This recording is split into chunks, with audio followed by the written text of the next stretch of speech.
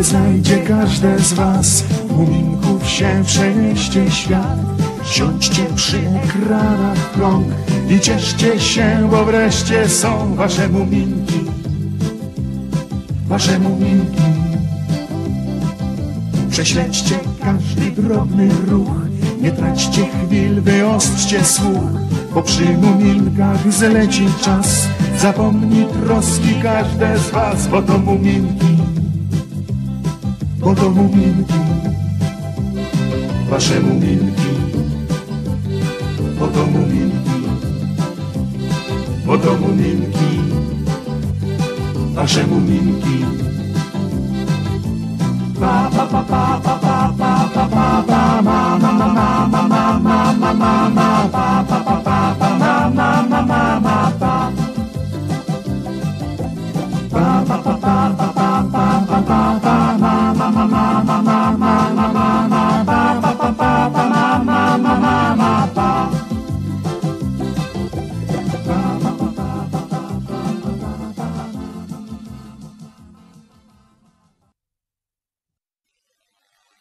Księżniczka Migotka.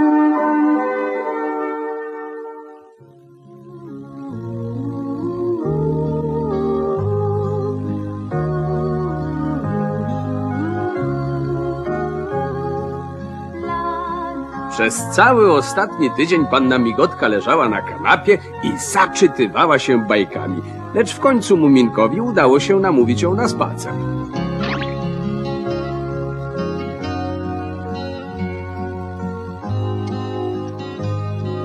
Chyba nie żałujesz, że dałaś się namówić na spacer. Ach. Przebywanie na świeżym powietrzu jest znacznie przyjemniejsze od czytania bajek. Muminku, popatrz, szarotki. Nigdy tutaj nie rosły. Nie, panno Migotko, coś ci się przywidziało. Wcale nie, jestem pewna, że to szarotki. To niemożliwe. Pójdę zerwać. Nie rób tego, to niebezpieczne. W takim razie chodźmy razem. Nie będzie bezpieczniej. Albo wiesz co? Zerwij je dla mnie jak rycerz dla ukochanej księżniczki. Może uda mi się tam zejść. Ale to nie będzie prawdziwa szarotka, bo prawdziwe szarotki rosną w prawdziwych górach, na przykład w Alpach. Tam, gdzie mieszka Heidi? Uważaj, W bajkach bohaterowie ryzykują. ale tylko w bajkach, nie w życiu.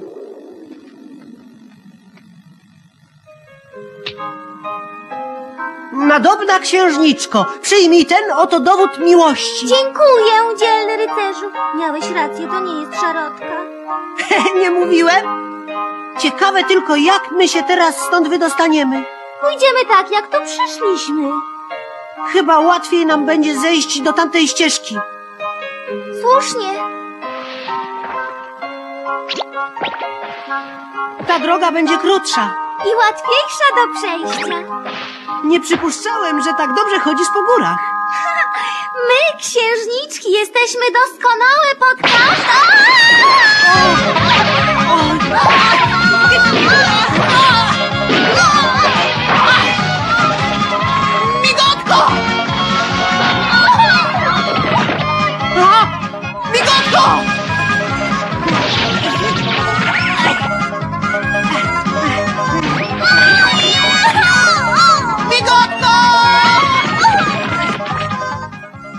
Policzę, ile ten kwiat ma pręcików. Jeden, dwa... A, wielkie nieba, co to było? Wyglądało jak śniegowa kula. Hmm, Latem. Hmm, Botanik ma ważniejsze sprawy na głowie. Jeden, dwa, trzy, cztery... Panie Paszczaku, nie widział pan panny Migotki? Nie, za to widziałem wielką śniegową kulę. To była Migotka! Ale przecież ona nie jest ze śniegu.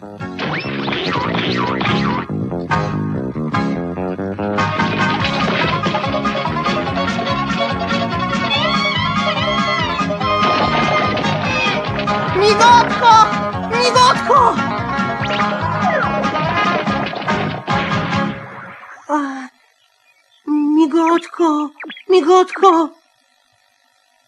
Na mój ogon na szczęście oddycha. tylko straciła przytomność.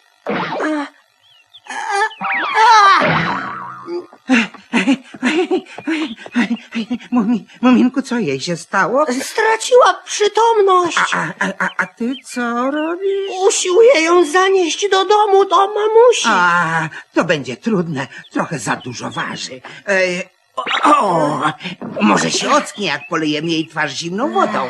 Ale w czym przynieść wodę? E, proszę, zdejmij korę z gałęzi brzozy i zrób z niej naczynko. Dobra myśl. Pójdę po wodę, a pan niech przy niej zostanie. Migotko, ocknij się.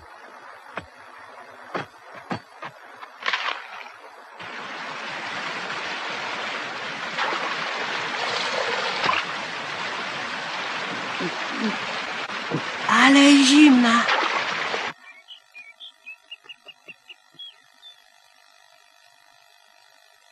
No i co, oprzytomniała? Nie. Ach.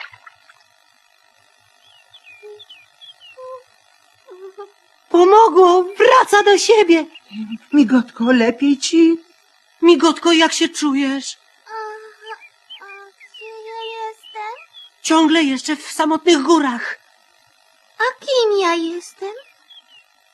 Jak to kim? Księżniczką z samotnych gór. Księżniczką? Naprawdę? No tak, zapomniałam. A ty kim jesteś? Księciem z samotnych gór. O, Ty miałbyś być księciem? Wyglądasz jak książęcy błazen. no wiesz, Proszę przestać się śmiać.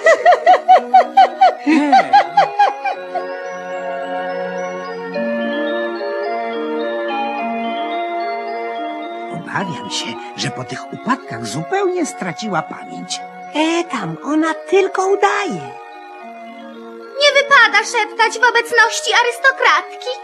Oczywiście, jaśnie pani, racz nam wybaczyć. Chata ubogiego wieśniaka? To twój zamek, pani. Księżniczki nie mieszkają w czymś takim. Ależ migotko. Nie zwracaj się do mnie jak do pokojowej. Przepraszam, waszą wysokość. Mój zamek znajduje się całkiem gdzie indziej. Co? A tu pewnie mieszka mój leśniczy. Tak, to chatka leśniczego. Mojego leśniczego.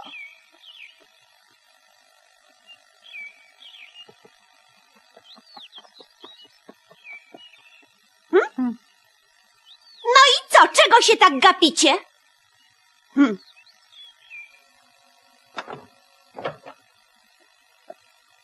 Dobry człowieku, gdzie moja pokojowa? Pokojowa? Dobry człowieku?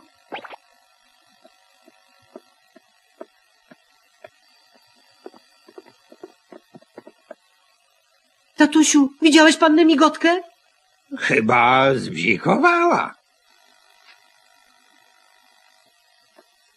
Mamusiu, czy mogłabyś porozmawiać z panną migotką?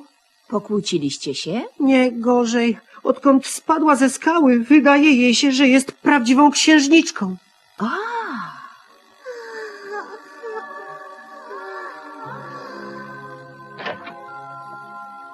O, Nanetko, wreszcie przyszłaś. nie poznajesz? Jestem mamusią Muminka. Nanetko, nie opowiadaj mi bajek. Jesteś moją pokojową. Nie widzisz, że padam ze zmęczenia? Przynieś moją jedwabną koszulkę haftowaną w łabędzi i lilię. Jak ona się czuje? Nieźle, ale niestety nadal wydaje jej się, że jest księżniczką. Mamusiu, czy to jest niebezpieczne? Nie sądzę. W zabawie nazwałem ją księżniczką. Dobrze, że nie śpiewaczką koloraturową. Czy już położyła się do łóżka? Tak, w jedwabnej koszuli nocnej haftowanej w łabędzie, lilii i korony. Poza tym zażądała baldachimu. Czego? No to taki niby dach nad łóżkiem z jedwabiu albo z aksamitu.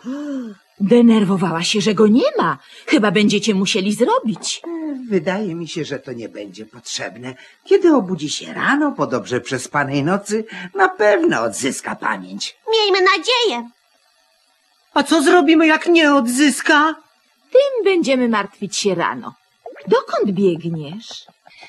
Pozwólcie mi spróbować. Czego? Pytanie przywrócić jej pamięć. Ciekawe jak. Jeżeli sobie przypomni mnie, wtedy zacznie sobie przypominać różne inne rzeczy. Coś ty, jak ona może przypomnieć sobie ciebie, skoro nawet mnie nie pamięta? Bo mnie nie da się zapomnieć. To prawda.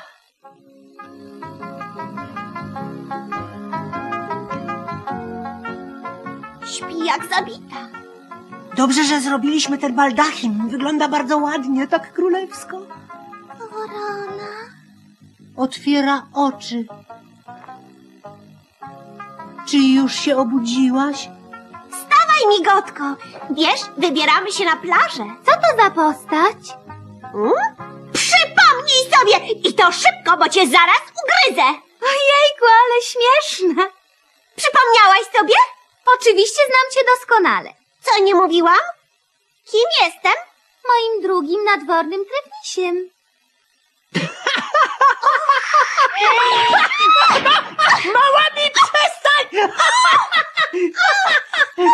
To urodzony trefniś, lepszy od tamtego błazna. Dzisiaj będziecie zabawiać moich gości. Źle z nią.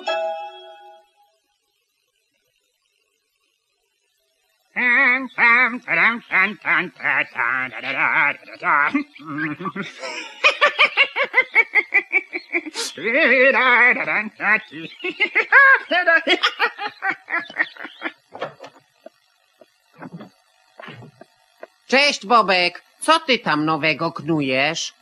Muminek powiedział, żebym przyszedł oświadczyć się jakiejś księżniczce. Zdaje się, że jeszcze ktoś zbzikował. Nie, po prostu jest nas trzech. Coś takiego. Muminek nie powiedział mi, że będę miał aż tylu rywali. Żeby dostać rękę księżniczki i połowę królestwa, starający się musi odgadnąć trzy zagadki. Fantastycznie! Czy to bogate królestwo? Kandydat numer jeden proszony jest na górę. To ja. Idę.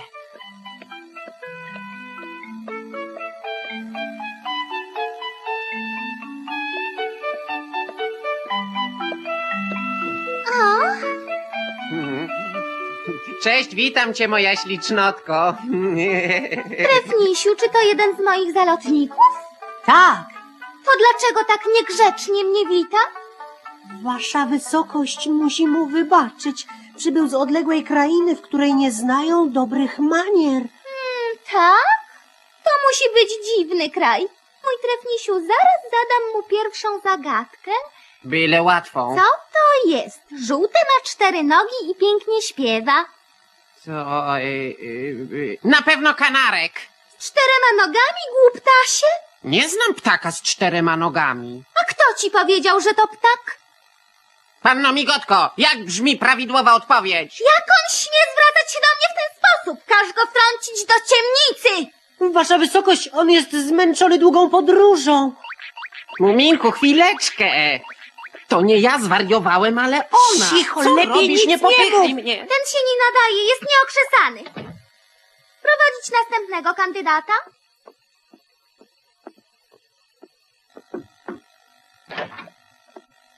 Przepraszam, że cię fatygowałem. Drobiazg. Witaj, piękny kawalerze.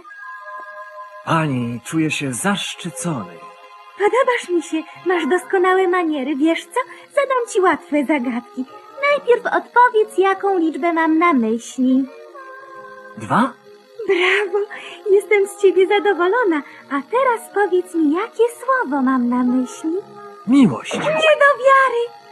Ten zalotnik nie tylko jest przystojny, ale także mądry. Została ci już ostatnia zagadka. Uważaj. Mam na myśli dwie liczby. Jaka jest ich suma? Odpowiedz! Dwadzieścia jeden. Rety! Zgadł? Ależ skąd dwadzieścia dwa?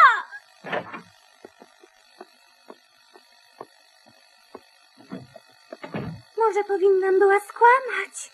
Tak, popełniłam błąd, bo ten kawaler bardzo przypadł mi do serca. Bobek, teraz twoja kolej. Połowa domu Muminka to już jest coś, o co warto powalczyć. Ciekawe, czy ona odzyska pamięć. Oczywiście. Nie tak wyobrażałam sobie zalotnika. Może nie jest piękny, ale ma dobre serce. Mimo wszystko wolałabym kogoś ładniejszego. No trudno. Oto pierwsza zagadka. Jaką liczbę mam na myśli? To bardzo głupia zagadka. Nie każ mi czekać na odpowiedź. Chwileczkę. Mhm. Mm. Sześć. Nic podobnego. 3 miliony 598 tysięcy 765. Wynoś się stąd, ale szybko. Panno Migotko, to nieuczciwe. Alek, burz, ściąć go. A druga zagadka. Idź już do domu! Chcę dostać pół królestwa. Ach, nie dość, że gbur to jeszcze łasy na majątek. Wiesz, Trefnisiu, nie mam już ochoty na małżeństwo. Może jednak wasza wysokość zechciałaby poznać innych kandydatów? Wiem, że zjechało się ich tutaj wielu, ale moja decyzja jest nieodwołalna. Odeślij ich tam, skąd przybyli.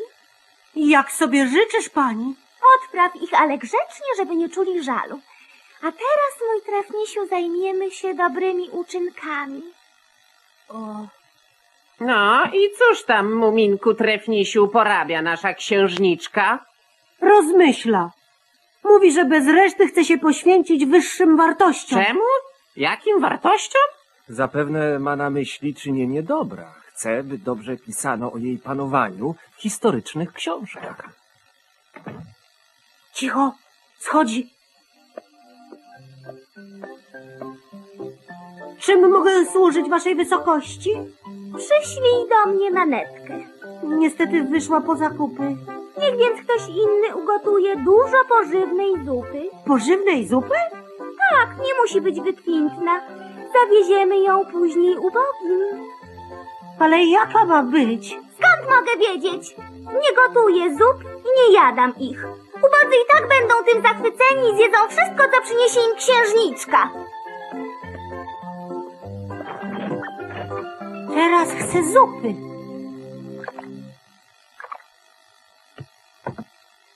To w zupełności powinno wystarczyć. Zwykle biedni nie jadają dużo. W tej okolicy nie znam nikogo, kto byłby biedny. Nieprawda.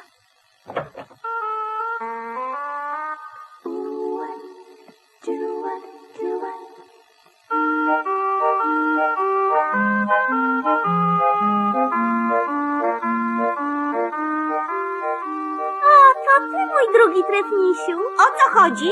Chcę zanieść biednym pożywną zupę, którą rano ugotowałam swoimi białymi rączkami. Gdzie są? Rączki waszej wysokości, rozumiem. To dobrze, zaprowadź mnie do biednych, tylko szybko, bo zupa wystygnie.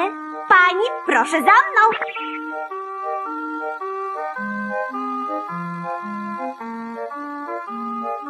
Tu mieszkają biedni. O, widzę, że w moim królestwie biedakom dobrze się powodzi.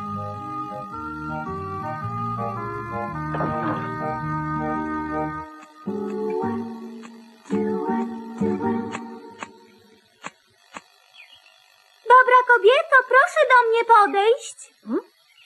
Kto to? Księżniczka z samotnych gór.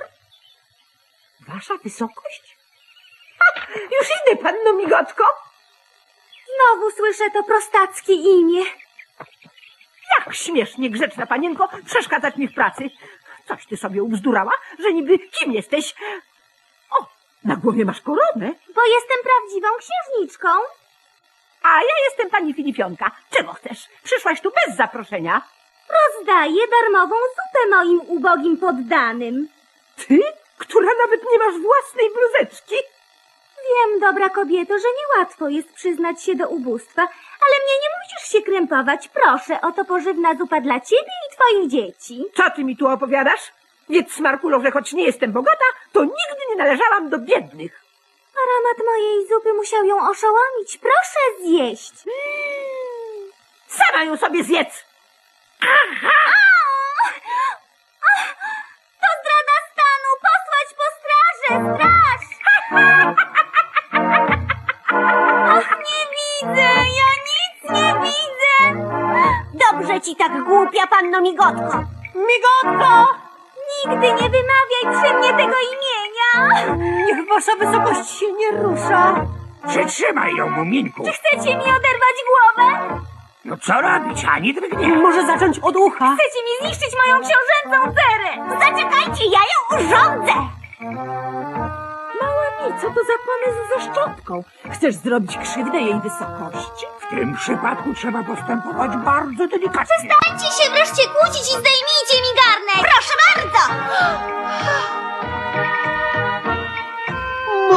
Migotko! Nie musiałaś tak mocno walić! Nie mam wprawy. Po raz pierwszy rozbijałam garnek na czyjejś głowie. Księżniczko, jak się czujesz? Niech wasza wysokość się ocknie. Może oblać jej buzię zimną wodą? Mamusiu, ona tego nie znosi. Panno migotko. Moim zdaniem ona ocknie się tylko wtedy, kiedy będziemy zwracać się do niej wasza wysokość. Wasza wysokość! Wasza wysokość! Ocknęła się. Dobrze, że wasza wysokość wróciła do nas. Czy wasza wysokość czuje się lepiej? Gdzie ja jestem? Hmm? Jak to gdzie?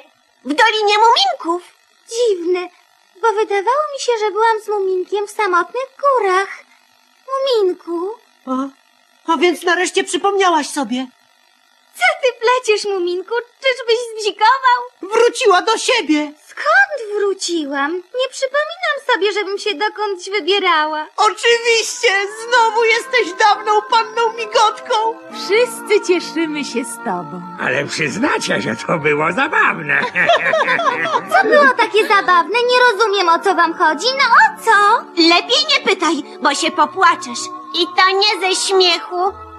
I tak oto zakończyła się krótka, aż zabawna opowieść o pannie Migotce, której wydawało się, że jest prawdziwą księżniczką. Wszyscy odetchnęli z ulgą. Muminki się cieszą radością i życiem Muminki I tym, że im chmurki bieleją o świcie Muminki Że wszystko jest dobre i jasne jak błysk Że one kochają, że kochasz je ty Muminki Muminki Wersja polska, telewizyjne studia dźwięku. Reżyseria Andrzej Bogusz, dialogi Marzena Kamińska, dźwięk Paweł Gniado, montaż Zofia Dmoch.